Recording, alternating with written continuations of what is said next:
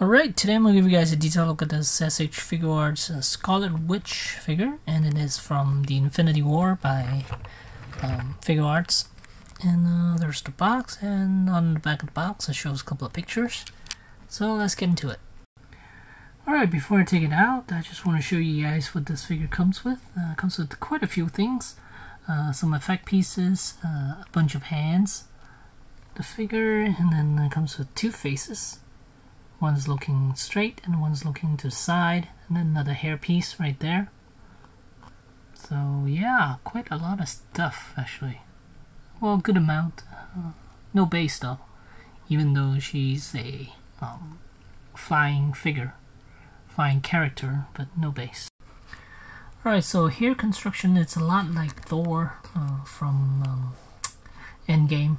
Uh, she too has a separate hairpiece uh, for you to slip onto the neck post and then you'll slip on the head. So it gives uh, this character a little more range of motion uh, for the neck for the head to move a little bit further up if if uh, if you so choose to. Alright since I'm at it might as well show you guys articulation first. Uh, head is on a ball joint and the base of the neck there's also another ball joint there.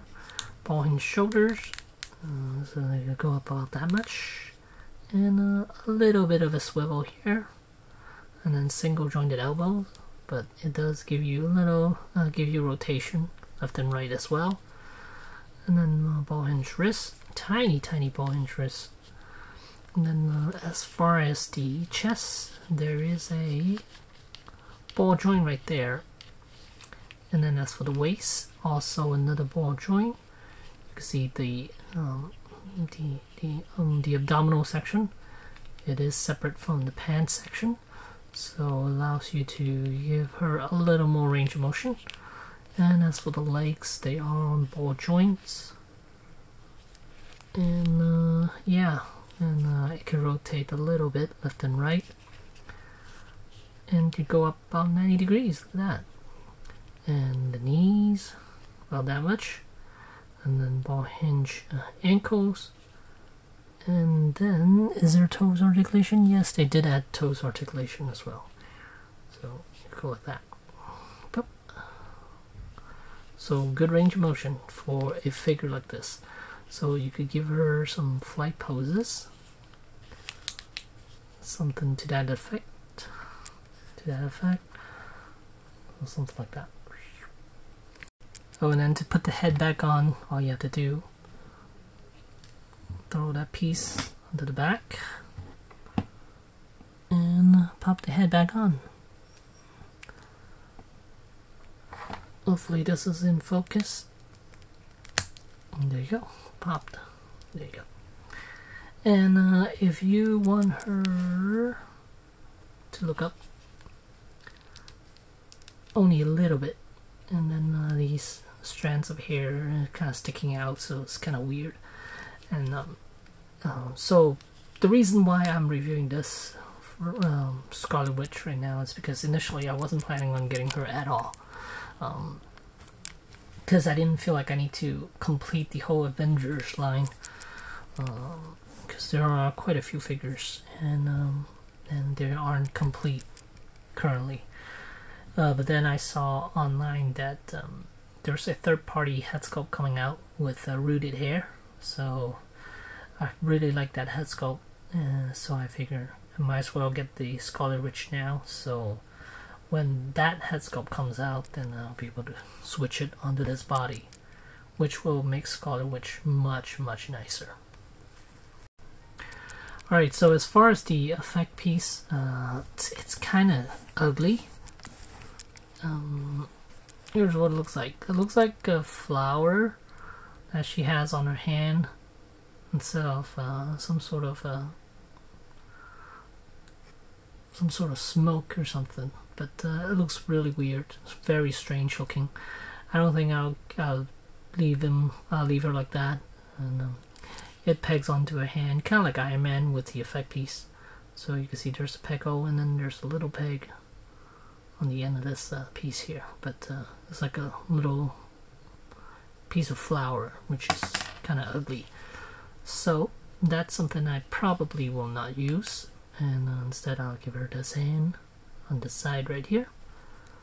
Yes I'll switch it out but uh, yeah likeness I think they did a really good job with the likeness. I think they did a really good job with this one but the rooted hair one is gonna be even better.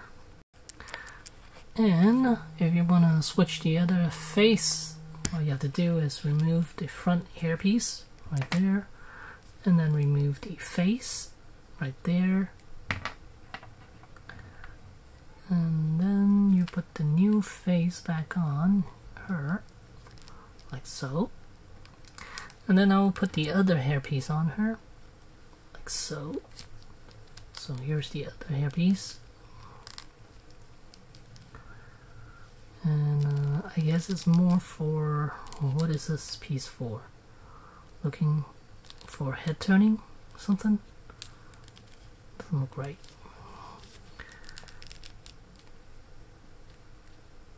Kind of like that then I guess. I'm not sure why they gave us this hairpiece. I guess it is for that but uh, yeah kind of like that. I don't know looks oddly strange here. Maybe like that but now it's flying up so it has to be on this side so I guess yeah well whatever.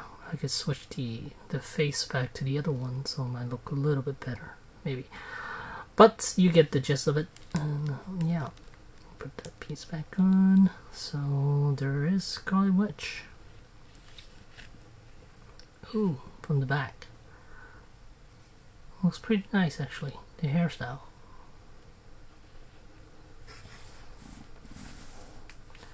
zoom out a little bit